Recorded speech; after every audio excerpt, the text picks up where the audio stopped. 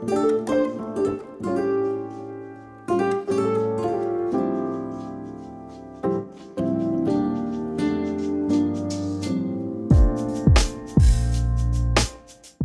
friends, welcome back to my channel. If you're new, welcome. My name is Christine. Today I'm going to be sharing my top five favorite cream blushes.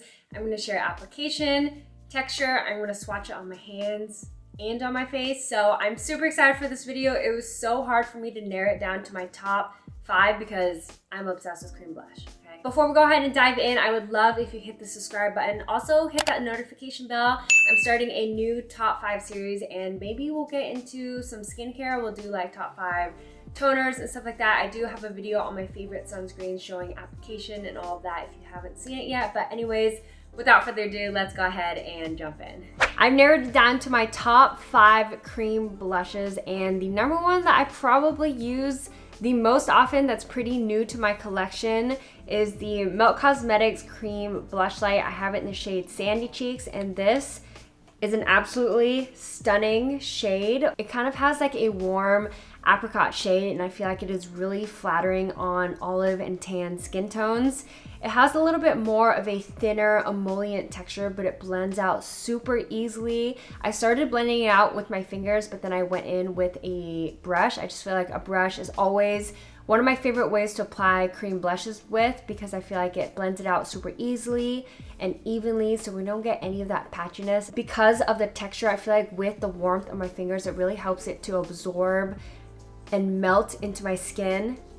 Melt, Get it? Get it? It's also really pigmented, so you don't need a whole lot. I feel like this is gonna last me a really long time. I love the packaging of it and that it comes with a little mirror. The shade is perfect on me and it does leave my skin look really dewy and healthy looking. Next favorite, you're probably not gonna be surprised. I have the Patrick Ta Double Take Cream and Powder Blush. This is a cream and powder blush duo. I have in the shade She's So LA. If I were to create my own blush shade, this is the shade that I would create. It makes my face look like I have a fresh tan, but like I'm a little bit blush and I love that there's a powder included in this because I feel like both of these work really well together whenever I top any of the cream blushes I'm wearing. I actually have this powder on today it's a gorgeous color and the cream blush especially kind of has a little bit more of a thinner texture. It's a little bit more oily as well. It has a muted apricot color that looks really good on tan skin tones, but even if you're a little bit paler,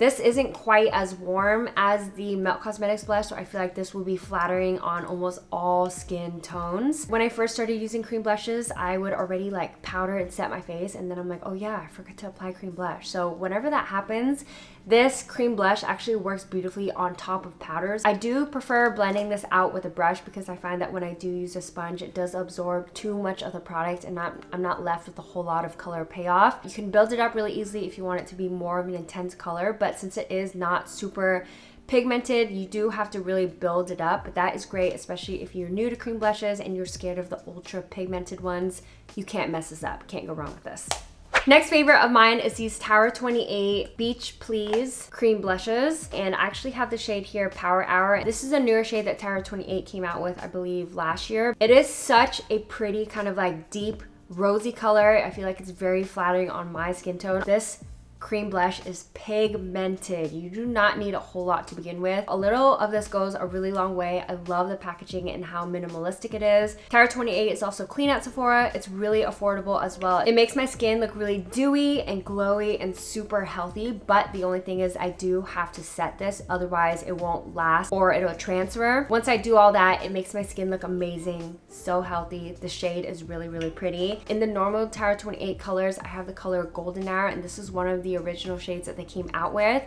This is a gorgeous kind of like burnt orange color. It has a touch of pink in there, so it's really nice and wearable throughout all the seasons. And I just love these cream blushes. I talk about them all the time.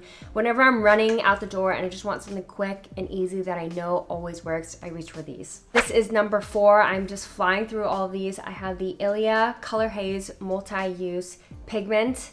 These are so underrated. I don't hear anyone talking about these cream blushes, but this is actually a pigment that you can use on your cheeks, on your eyes, or your lips, but I use them specifically on my cheeks, and it has a, like, almost like a lip gloss lip balm applicator and I squeeze out a little bit of it and just tap it on my face and then I'll use a brush to blend it out.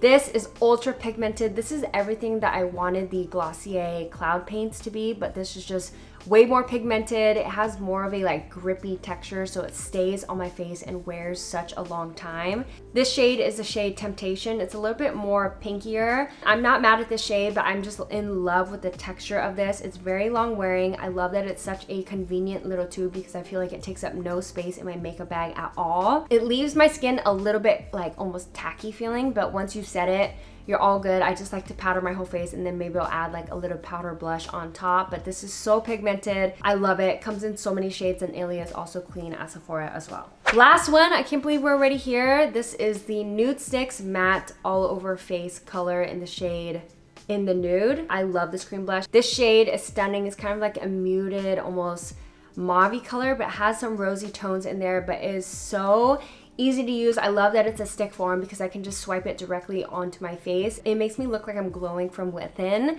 Like my skin is just naturally flushed and blushing and I just feel like it's such a cute look and I love dragging the cream blush on the high points of my cheeks, almost like in my highlight area, but also across the nose as well. And I just feel like it's such a cute look. It helps to warm up the face. It lasts a really long time on the skin and it's super long wearing. Lastly, we have an honorable mention. I could not narrow it down to just five. And I feel like this one was almost kind of cheating because it's so new to my collection. Em Cosmetics recently launched cream blushes and bronzers and ever since I got this in the PR box. I've been using it ever since, and this is called the So Soft Cream Blushes. This is in the shade Pearl Tea, and it's such a gorgeous tone. This is also the cream blush I'm wearing on my face today. I just add such a pretty glow to my face. I love the shade. I feel like this cream blush also blends out so easily. I've only been using this for like a month. All the other cream blushes I've talked about, I've used many, many times. So that's the only reason why this didn't make it to the top five, but I think I'm to continue using it and I would not be surprised if it knocks one of the other cream blushes out because honestly, I've been loving this. That brings us to the end of this video. Those are my top five favorite cream blushes. I'll go ahead and leave them all linked down below. I recently did a brow waxes roundup. So definitely check that out if you haven't already. But let me know what you guys want to see next if you want me to dive into a skincare series. But anyways, thank you guys so much for watching and I will see you all in the next video. Bye!